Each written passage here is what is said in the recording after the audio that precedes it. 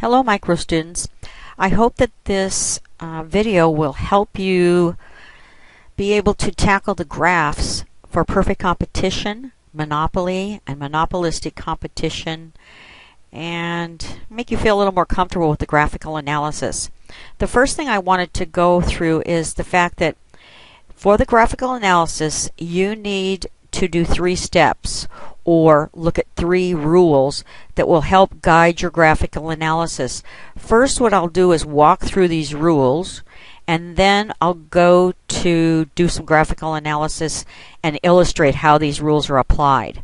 The first rule, and I'll just read it from this particular uh, slide, in order to maximize net profit or minimize net losses, a firm should produce a quantity of output where marginal revenue equals marginal cost. This rule implies that a unit of output should be produced as long as its marginal revenue is greater than or equal to its marginal cost. So basically what this rule means is when you're looking at a graph where you have marginal revenue and the marginal cost curve, then the best quantity that firm can produce to earn the highest net profit possible is the quantity where marginal revenue and marginal cost are equal. Only at that quantity will they earn the highest net profit possible. Now, if they happen to be losing money, then that marginal revenue, marginal cost uh, quantity will still help them to lose the least or to minimize their losses. So, this rule one, remember, tells you one thing it tells you the best quantity to produce. Now, after you've after you've graph, done the graphical analysis and know what that quantity is, the second step is to apply Rule 2. And Rule 2 says in order to determine net profit, you have to compare price and average total cost. There are three possible outcomes. If price is equal to average total cost, we can say that the firm earned a normal profit or an economic profit of zero. If the price they're receiving is greater than their average total cost, then they're earning an economic profit. And if the price is less than their average total cost, they're experiencing an economic loss. Now, Rule 2 tells you just one thing, and that is how to calculate the profit or the loss, or how to determine if they're making a profit or a loss. When you look at these graphs, you're going to see a demand curve, and that is the price line. That's where we get the price from. For perfect competition, that demand curve happens to be horizontal. It's the same as the marginal revenue curve. And when you're looking at that horizontal price line, which is our demand curve, all you have to do is look at where average total cost lies in relationship to that demand curve. If it's above the demand curve, then the firm is losing money. If the the average total cost lie below the demand curve, then the firm is earning an economic profit. If the average total cost is exactly the same as the price, then they're earning a normal profit or an economic profit of zero. So the first rule tells you quantity, the second rule uh, allows you to determine if they're making a profit or a loss. The third rule, well, that's one that you have to use only in the cases of a firm that is experiencing a loss. And Rules 3 talks about, oops, well, too far. Rule 3 reads, if a firm is experiencing an economic loss in the short run, in order to minimize that loss, they must choose whether or whether or not to reduce the quantity where marginal revenue equals marginal cost or to produce zero units of output. So, when you're losing money, you have two choices produce that best or optimal quantity where marginal revenue equals marginal cost, or produce zero, which we would refer to as shutting down. So, in order to make this choice, they have to compare price and average variable cost. If price is greater than or equal to average variable cost, then in the short run, run, it's okay to produce the quantity where marginal revenue equals marginal cost, even though they're losing money. But if the price they're getting is less than the average variable cost, they should shut down and produce zero in the short run. That terminology, shutting down and producing zero, applies only to the short run. In the long run, if nothing changes for the firm, they should exit the industry. Okay, now I'm going to switch over to some PowerPoint slides. And um, in fact, I think I'll actually keep going on this, this particular, these few pages here for a little bit. So let me see.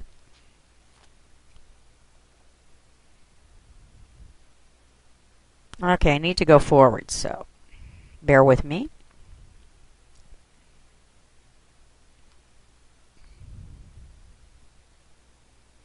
Okay, here's a particular graph. It's a wheat farmer. So that's my representation of a perfectly competitive firm. And you've got the demand curve with a horizontal line. It's this price or demand is also the marginal revenue. Marginal revenue just means the additional revenue from selling one more. In this case, it's one more bushel of wheat. And what I've already done prior to this particular page is display the supply and demand for wheat in the wheat market and the forces of supply and demand together are determining an equilibrium price of $10. That means for each individual wheat producer, the demand for their product is infinitely elastic at $10. That means that as long as they charge $10, since they're such a small producer, they can sell as much as they possibly, probably, or possibly could produce. Now, you have a marginal cost curve shown on that graph. Remember, the marginal cost curve often looks like a check mark. And then you have the average total cost curve.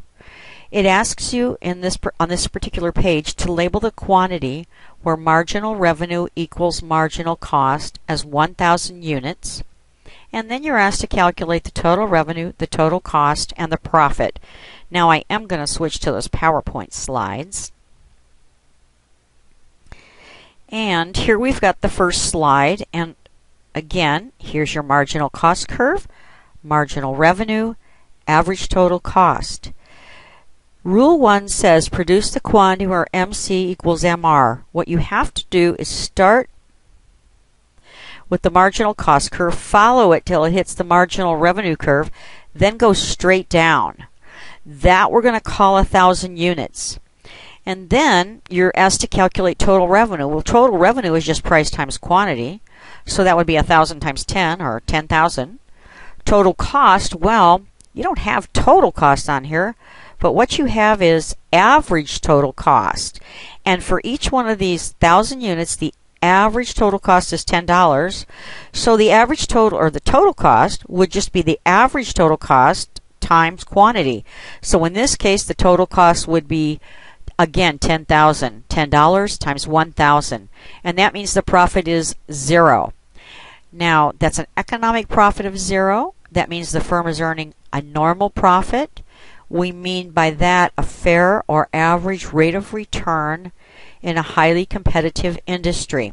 Now don't be confused and don't think that if the profit is zero that that's necessarily a bad thing because it's not. It means that the owner of this business is able to pay themselves all their explicit costs and all their implicit costs. So they're earning a fairer average rate of return they're getting paid for all their opportunity costs, meaning the value of their time, what they could be doing instead. They're getting that uh, value. They're not getting anything more than that, but they're making that value. Okay, let me go to the next slide. In fact, I'm going to kind of go past that. I'm going to go. Uh, I'm going to go to this next slide. Now, this next slide it's kind of pre-done here, and I'm talking about Wheat Farmer B. And I've made this statement wheat farmer B is more efficient than wheat farmer A. So, well, the minute you hear efficiency or know that they're more efficient, that means that they should have lower costs. So again, this is the graph for wheat farmer B. As you can see, here's the average total cost curve. It lies well below the demand curve. And that means, well, if the costs are here and the price is here, they're winning the battle meaning the average total cost is less than the price, so they must be earning an economic profit. So again, to, in order to perform the graphical analysis, you're going to start by completing step one. Start with the marginal cost curve, follow it till it hits the marginal revenue curve, stop, go straight down, and we're going to call that 1500 units. here's the average total cost curve. And I'm going to ask you to basically only look at this region on the graph. This is all you need to be concerned with. Once you find where marginal cost and marginal revenue are equal, everything that you're interested in lies on this line. In other words, this line related to the quantity of 1500 units. If you go straight up from 1500 till you hit or intersect the average total cost curve, I'm going to go over to this price and cost axis and I'm going to estimate, well, looks like the average total cost for each one of those 1500 units is $7. So, um, I'm going to ask you now, calculate total revenue, total cost, and profit, and profit per unit. I think I have this on another slide, but nope, I guess I don't. Okay. So, total revenue would be 1500 times 10 or 15,000. Total cost would be 15 times 7, which would be, now I have to stop and think about that, um, 10,500. So that means their economic profit has to be 4,500. Hopefully I'm doing my math correctly. Anyway, so 4,500. And then I'm also going to ask you what's their profit per unit? Now, if their total profit is 4,500 and you divide by 1,500 the quantity, then that tells you that the profit per unit would be $3. But you know, there's kind of an easier way to make that determination. And if you want to know the profit per unit, all you do is take price, in this case is $10, and subtract average total cost, which is 7 and that tells you their profit per unit is $3. The same result we got by taking the total profit of 4500 divided by the 1500 quantity. Okay, let me see what I've got on this next slide. Okay, I've got this problem, definite problem going on here. This is Wheat Farmer C. As it tells you at the top of this example, Wheat Farmer C has more land than Wheat Farmers A and B, but his equipment is much older and slower. So, well, so his cost must be higher. Again, to do this graphical analysis, you're going to approach it in the same way. Find the marginal cost curve. Follow it till it hits or intersects with the marginal revenue curve and go straight down. So again, start with the marginal cost curve, follow it till it hits marginal revenue, go straight down. And then I'm going to ask you, after you've done that, to draw this big vertical line through your graph. Let me go to the next slide where I can show this.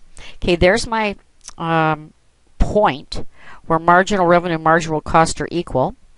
I'm going to label that quantity 2,000 units, and here's this this obnoxious dark line I want you to draw through your graph. Everything that you're going to look at on this graph relates to points on this particular line. Here's where MC equals MR, telling us the quantity. Keep going straight up from 2000, and this is the point where it intersects the average total cost curve. So the average total cost, I'm going to call that $16. And then there's one more number we need to actually do some of the calculations that I'm going to ask you to do, and that is the average variable cost on this graph, the average variable cost, well, let's call that $12. So now, you could calculate total revenue, total cost, economic profit or loss. Hopefully you can look at this graph and see, wait a minute, they're, they've got big problems. Their price is 10, and both of the cost curves, average total and average variable cost, lie above the demand curve. So they're losing money. So in this case, you'd be calculating a loss. And then you can also calculate the loss per unit. We could calculate the total variable cost if we wanted to.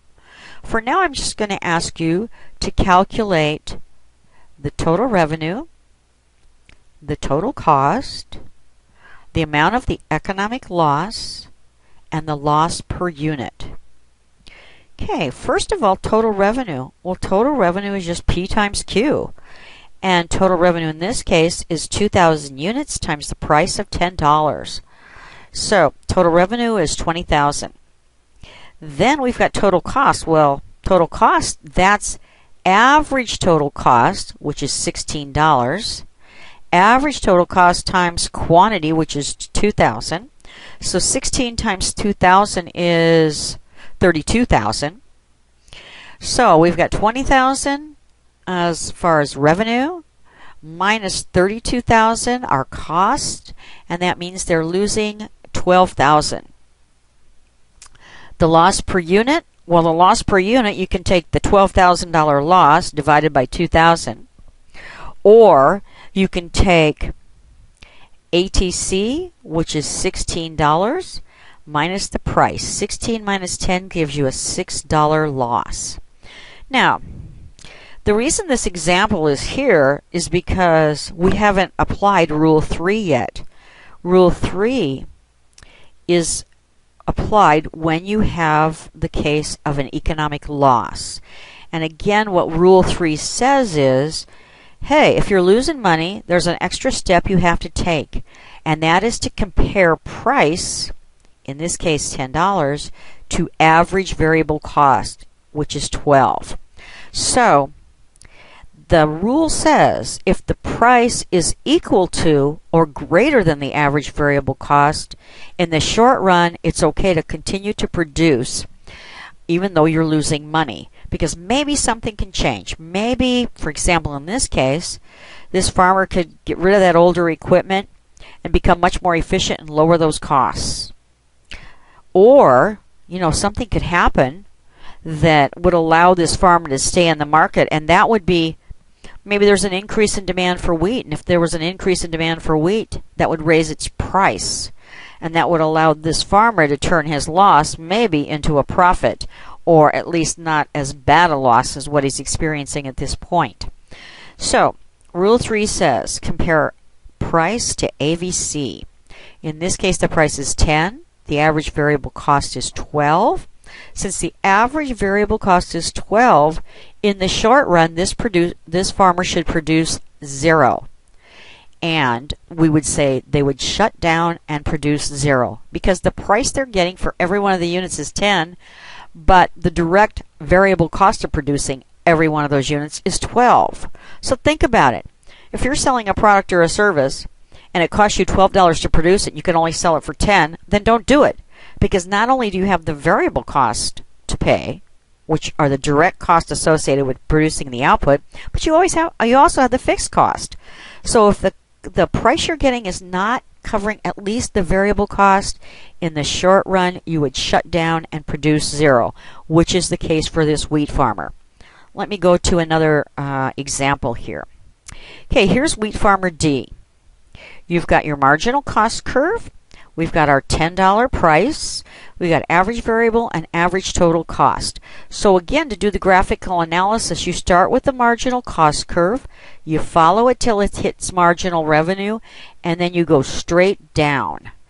And then again, draw an obnoxious line up and down your graph through this point, and that's what you're going to only look at is the the curves or uh, intersection points on that line.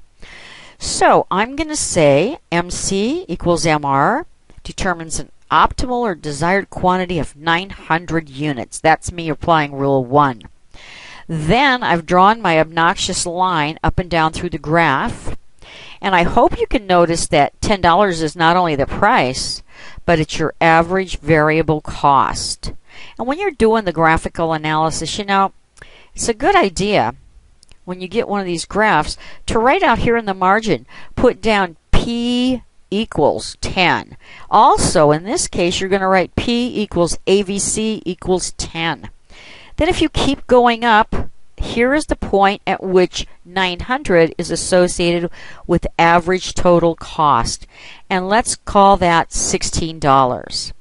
So, the total revenue in this case is 900 times $10, which is 9,000. The total cost, well, the total cost is 16 times 9. And so, you know, I don't have a calculator here, so I'm just going to ask you to calculate that. but 16 times 9 would be the total cost. Since they're losing money, um, and you can, I'm sorry, let me go skip back for a moment. You can calculate total revenue minus total cost to determine their economic loss. In this case, their economic loss, well, the loss is $6 a unit. Price minus ATC gives you a negative 6, so that means they're losing $6 a unit times 9, which means they're losing $5,400. So, we can calculate their loss and using Rule 2, comparing price and, A- and ATC.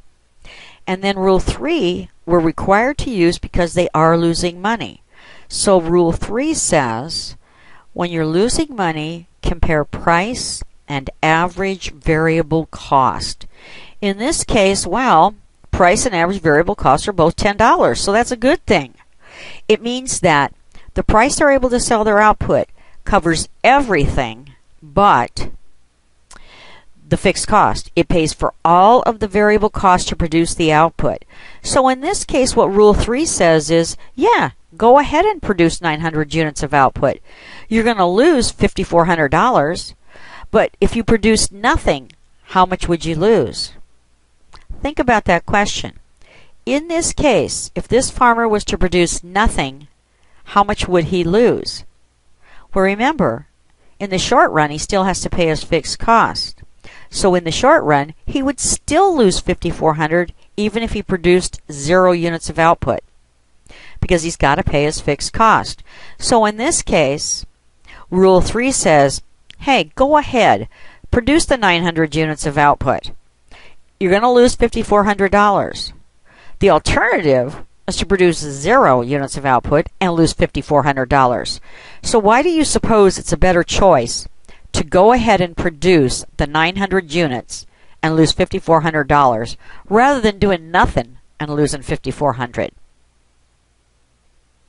Okay, if you think about that for a moment, I hope you realize we're looking at a competitive market model. And what that means is that by staying in the market, and producing 900 units, maybe they will be able to learn how to refine their production techniques. They'll learn some ways to become more efficient. If they're able to learn some ways to become more efficient, then they can lower those cost curves and decrease that loss. By producing nothing, there's no they're not going to learn how to become more efficient and lower costs. So anyway, that's um, the the example of wheat farmer D.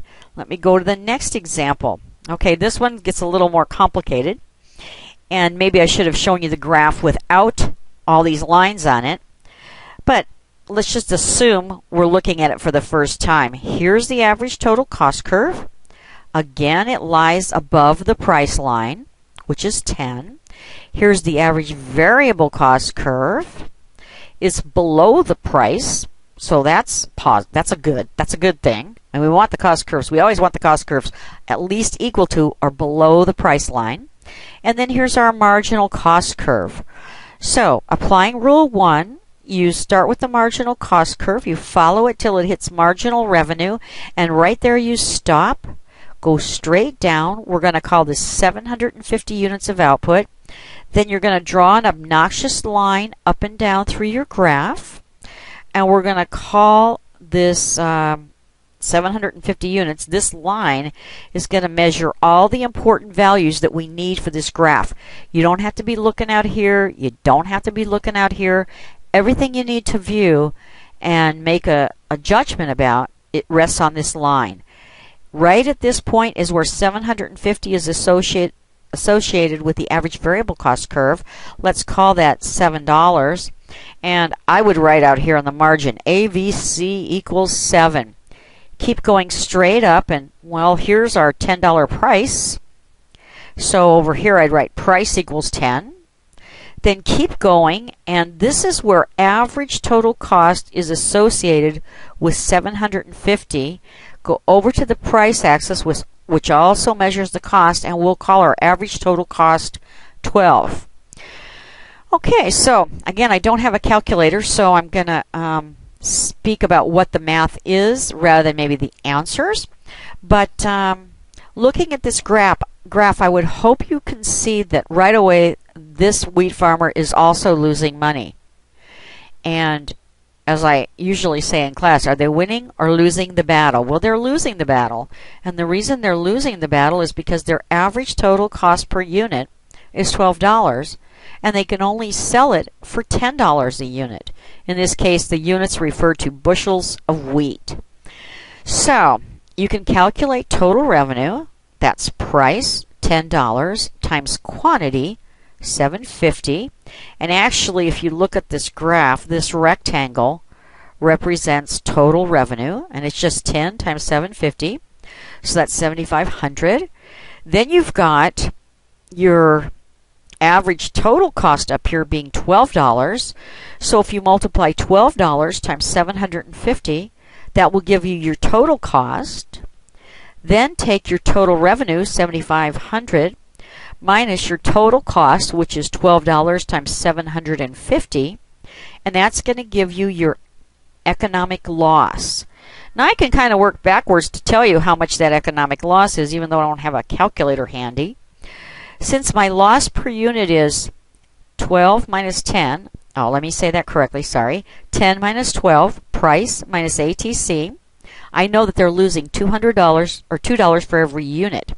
Well, if they're losing $2 for every unit and they're selling 750, then 2 times 750 says their economic loss is $1,500. Okay, so this is probably for perfect competition the worst looking graph that you would have to analyze. But again, you're applying rules 1, 2, and 3 over and over again for all the graphical analysis. However, the bad news is, is that the graphs get more complicated after this model of perfect competition. Let me see if I have another graph here to go to. Um, I do, but I'm going to let this one go. So I'm going to stop this particular video right now. And what I will do is resume with another video I'll show rules 1, 2, and 3 again, and then I'll show you how to do more complicated graphical analysis where the demand curves now would become downward sloping and the marginal revenue curve becomes separate. It lies below the demand curve, and that can be for monopoly and for monopolistic competition.